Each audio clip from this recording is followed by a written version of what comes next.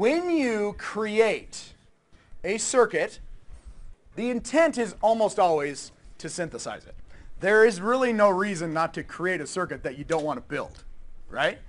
However, VHDL, the reason that we use hardware description languages is because before you build that circuit, you can verify that it actually is correct. That's very important because when we build a VHDL model, it's great because we live in a tool, we live in the CAD tool, we verify that our VHDL is correct, then we actually take a leap of faith that the synthesizer will interpret it correctly. Okay? So we want to make sure that what we give that synthesizer is absolutely perfect and logically correct before it goes through and creates all the gates for us that are downloaded to the, to the chip. Okay? So if you think about it, we need a way to exercise our design. Now, we typically call a design within a test bench the design under test. That's what the DUT is, okay? So we call the nickname of whatever you're testing is DUT. If you think about it, your circuit is not going to have things in it that generate like input stimulus, okay? It is going to react to inputs and create an output. That means if you want to make sure that this thing works, what you have to do is you have to have some mechanism to drive in inputs. And you have to have some mechanism to observe the outputs. Okay? So what we do is we create another VHDL file, which is called a test bench. And in that test bench, what we do is we instantiate our system we're testing, our DUT, and we do that as a component. Okay? So we're just going to call this thing. It's assuming you've already done it, obviously. And you call that thing, and when you call it, you need to connect up the inputs and the outputs. Remember, this is now a new VHDL file, this test bench. And so you need to actually create internal signals to connect to the inputs and the outputs. The convention that we use in this class is we use the same name. So for example, the DUT has the input ports of A, B, and C, and F. We put an underscore TB for test bench as the internal signals within the test bench so we can easily differentiate when we look at the simulation. Okay?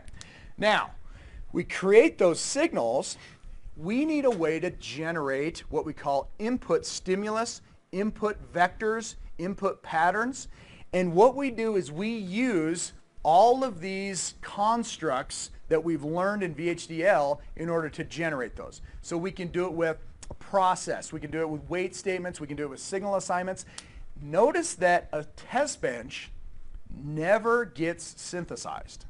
That means you can use all of the capability within VHDL to generate stimulus and check the outputs, and you don't have to worry about whether it's synthesizable. That is the key reason that VHDL allows you to have both synthesizable and unsynthesizable capability. Sound good? Okay, so what we will do is we will generate that. How do you observe the output? You have two ways of observing the output. Number one, we are going to use a CAD tool to simulate this you, almost all, well, all CAD tools uh, allow you to view the output as a waveform. So if you don't do anything but just let this signal dangle, that's perfectly acceptable because the waveform viewer will allow you to look at it so we can graphically see if it was correct. You can also do cool things like dump this to the transcript window or you can take this and write it to a file and you can check it kind of manually. So when you look at just the ones and the zeros printed in a, in a file, that's called a uh, listing view. For what we do is we always use the waveform viewer. Okay? All right. So that is what we are going to do. So why don't we, probably the best way to learn it is to just do one. Okay? All right. So I walk up to you and I say, I need to create a test bench. So I'm going to go into my project folder and I'm going to do a new folder. And we'll call this puppy test bench. Okay. We are creating the test bench. Let's go grab our system X from the last example. It's already done. We don't want to create a new DUT. Let's just go grab it. So I'm going to grab system X and I'm going to come over to here and I'm going to add it. Now, the assumption is that this worked, so we'll check it out and make sure it works. So now I have my DUT, and I'm going to start ModelSim, and I am now going to create the test bench. Okay, so I fire this puppy up. ModelSim. There it is. All right, as always, I'm going to start up and I'm going to say File, New, Project. I need to browse to my little folder where I keep everything, which is right here, obviously. And I say, okay. I'm going to name it. I always name it project, just so I can easily find that file. I say, okay. Now, this thing's going to ask me, do you want to add an existing file? Absolutely. Except this time we're adding our system X, our DUT, what we're testing.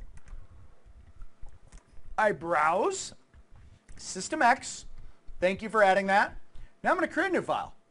The naming convention for test benches that we use in this class is the name that we're testing underscore TB so that that is obvious what we're doing.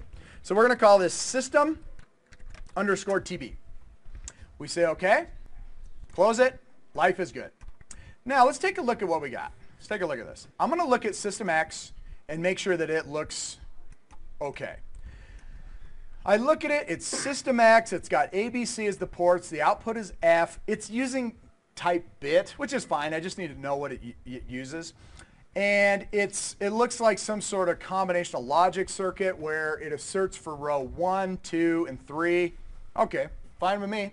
Let's now create something to drive stimulus into this guy.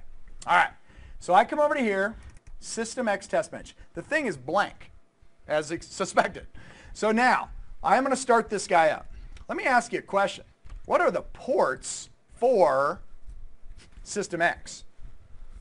If you look at this picture, the ports for System X were A, B, C, and F. What are the ports for System X test bench? If you really think about it, it doesn't have any ports, right? There's nothing outside of this. All it's doing is generating internal signals and then assigning them values and then looking at an internal signal. So the, uh, the, key of a test bench, it doesn't have any ports. And that's perfectly acceptable. Okay? So I come back over and I say, let's do our port definition. So I go back to ModelSim and I am going to do the following. Entity, I call it the same as my file name, is, this is where I would put the ports. Yes? You, system test bench instead system X test bench. Okay, that's a bummer. It'll still work. Okay, but I should, yes, you are absolutely correct. I should have done that. Now, if you did this, what would you do? You know what I'm going to do? I'm going to back out of here just to show you how you do it. I'm going to say, no, I don't want to change that. I'm going to click on this puppy. I'm going to say remove from project. Delete it as well. Now I'm going to come back here, right click, add to project, new file, and let's call it system X underscore TB. Bada bing we're back. So that's how you would do it if, if you did exactly what I did. Now, that's a nice catch. Entity. I mean, that was a long time ago I typed that in, though. Okay. Let's tighten up that loop, huh? That feedback loop. Okay, so entity system X underscore TB is, now here, here's my ports, and entity. That's all you do. Okay, we're done. Architecture. Architecture system X underscore TB underscore arc of tie it to system X underscore arc is not even close. System X. Good Lord in the morning. Here we go. Let's think about this. The name of this is System XTB. The architecture name is System XTB ARC, and I need to tie it to System XTB. Okay, there we go. Now I'm going to come down here. I'm going to go begin, and I'm going to come down here, and I'm going to warm up the compiler. Okay? So I need to do end architecture. At that moment, that's the bare, bare bones needed to simulate, or excuse me, to compile. So compile selected. Oh. Let's compile this one and see if it worked from our last time. Oh. All right. Now we are ready. The first step is we're going to instantiate the DUT. So we call it as a component. When you do that, you actually need to think about creating your internal signals in order to wire it up. So you come up here before the begin statement. This is where we do what we call declarations, and this is where you would do a signal declaration and also a component declaration. So the first thing I'm going to do is create the signals I will connect to this guy. So I'm going to do a signal, and I'm going to say A underscore TB, B underscore TB, C underscore TB, and I am going to give this the type bit. This is creating a wire inside of your test bench. A wire has no direction. It's just a wire. Okay? That's why you have a type but no mode, or what we call it. Okay. I could have put this F underscore signal or F underscore TB on the same line, but I just did it like this, so it's just a little uh, more obvious that those are the inputs, this is the output. Okay? I have now created, declared four signals. Now I need to declare any components that I may instantiate after the begin statement. So I declare the component. Here's how you declare the component. You type component. That's the keyword. Then you give it component. Okay. Turns red when you spell it right. Now what I'm going to do is I'm going to give it the name of what I am calling. Here's what you got to do though. I'm not going to guess. Okay. I'm like, I, can't, I remember it had some ports in there. Let's just go copy it. So I'm going to go over here and I'm going to grab this right here and I'm going to copy this so that I don't screw anything up. So I copy that, come back to system, and I'm going to do this. Component system X. You actually don't need the is there, even though I believe it still will work with it, but you don't need it. So I say component system X. You list out exactly what the port definitions are. If they don't match, it won't be able to find it, and it'll say error design not bound. Okay? And I'll show you where that will say that. Okay, so I come over to here, and I'm to end component, and that's it. I have now declared a couple signals, like four of them, and then I declared a component, and now I come down here, and I am ready to model some functionality. First off, let us instantiate the DUT. So now I'm going to call it. I told it that this is what the DUT is. Now I'm going to drop it down into my design. That's called instantiating. I give it a name. I give it a descriptive name so that I can tell it apart. I'm just going to call it DUT. Okay? DUT 1. Okay? I could have a bunch of DUTs, but let's do DUT 1. Okay, I'm going to say name of the DUT, which is system X. Again, it has to match what you declared. And now I'm ready to do, if you may recall this, the port map. Port map is how you wire your signals within this architecture, these guys up here, to the ports of the DUT you are calling, or the component you're calling. So this is the wiring part. I'm going to do this with explicit port mapping. I am going to list out the name of the port underneath me, and I'm going to name the wire, and I'm going to connect them so that there's no ambiguity. So the way that you do that is after port map, you do open parentheses, you list the port name below, and use that little connection operator. Okay? It's a flippy of the assignment operator. This is a connection operator. So I do that, and I say you know what I'd like to connect to A? Let's connect A to B. Comma. Then, you know what else I'm going to do? I'm going to connect to B, the port below. I'm going to connect B, TB, comma. And then, you're probably saying, why don't you copy and paste? And I said, don't worry about it. I'm going to go C, CTB, and then finally, you know I'm going to connect to F? You guessed it, FTB. F underscore TB. Now, I close up my parentheses, I semicolon it, and I'm feeling so good. At this moment in time, I am done with my component instantiation. This should compile, honestly. Let's go ahead and see if it does compile.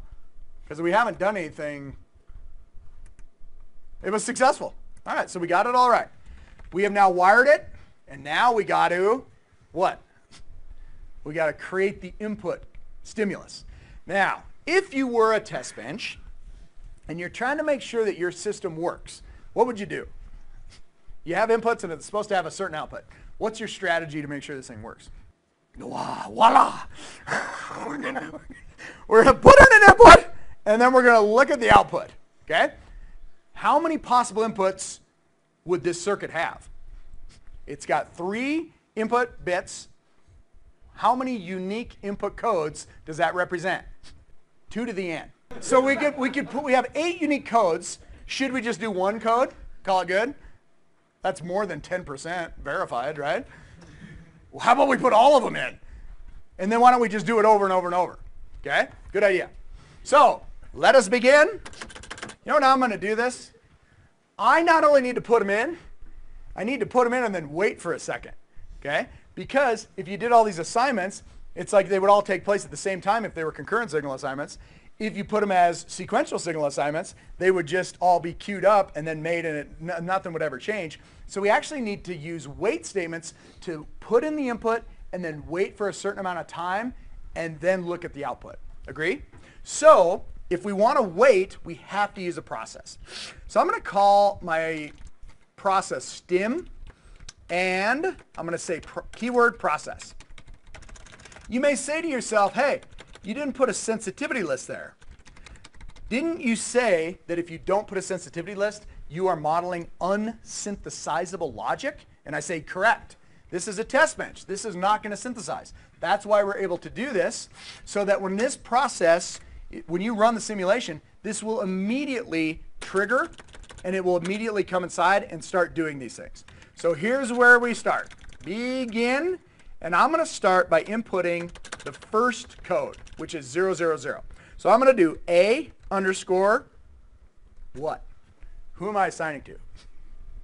A underscore TB. You can only assign to your internal signals. You can't assign to that port. You got to assign to your internal signals that you had wired to that guy. So I say A underscore TB is equal to a zero, and then I do semicolon.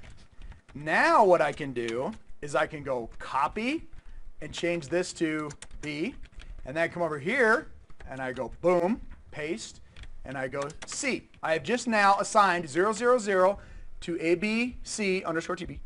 And now what I want to do is wait for, how long do you want to wait? 50 nanoseconds?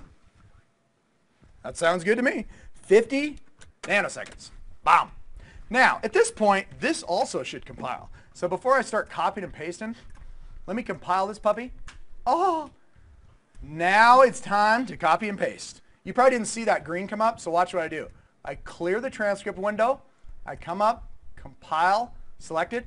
No. Now I come back and I go boom. I'm going to now change, after 50 nanoseconds, I'm going to put in 001. Then I'm going to do another 4, and this time I'll put in 010 and 011. And then finally, let's go ahead and do another 4. And there they are. So I got boom, boom, and boom. So make that a 1, make that a 1, make that a 1, make that a 1. Okay, at this moment in time, we are feeling pretty good. We've gone through all the possible input codes, compile, selected. Oh. Now, let's run it. Let me ask you a question. I like the fact that we use 50 nanoseconds because it's a different time. How long do we need to run our simulation for? At a minimum. 8 times 50 nanoseconds, aka 400 nanoseconds. That's different from what our prior example. So this is cool. This is different from what we've done. It'll show that it's actually working. Okay, so how do I do it? I go into library, I pop open work, I load SystemX test bench. Notice down here, see all this blue stuff right there? It's telling me what's going on. After we make sure this works, let me show you what happens if it gets screwed up. Okay, I come into objects, I go add to, wave, signals in region. There they are. Now I come up to here and I go, at a minimum, run this thing for 400 nanoseconds. I go run. Here they are. I look at the zoom full. It looks like it's working, but you know what I always like to do? I always like to say this. Radix, no, not even close. Combined signals. Let's call it ABC. Let's go ahead and nuke these. And there you go. It is sorted for 001, 010, 011, and all the rest of them were zeros. Is that what we had? Is that what we wanted? Let's go look at our system. The answer is, it is. It's exactly what we expected. Life is good. Now I ask you this question. What if I ran this for longer than 400 nanoseconds? What does it do? You have 400 nanoseconds has gotten you through these eight lines. What happens if you run longer?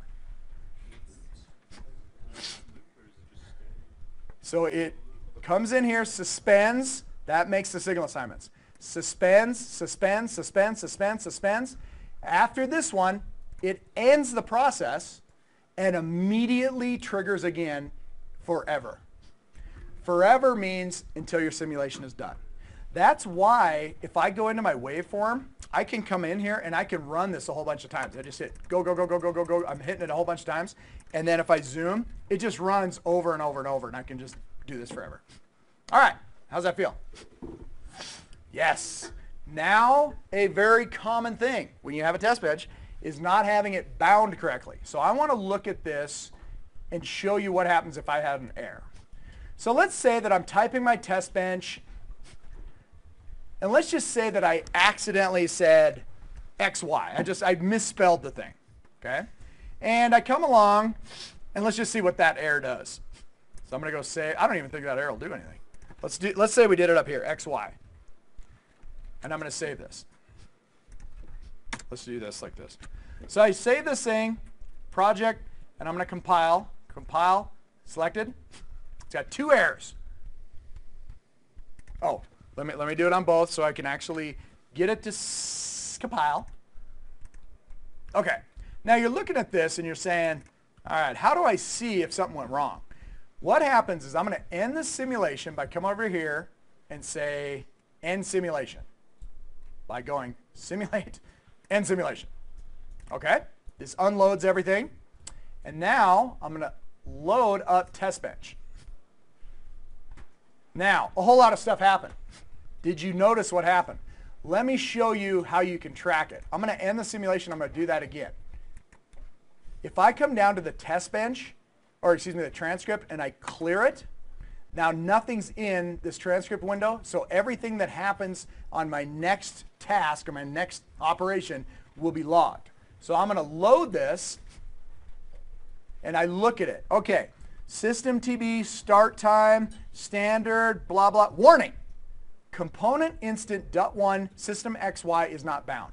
That means that it had something in your project that didn't line up. It was looking for a test bench to try to call a DUT, but that the component declaration didn't match the component or the entity definition below it. So this is one of the most common things that you're running into. Okay, so that is a test bench when you view the output graphically.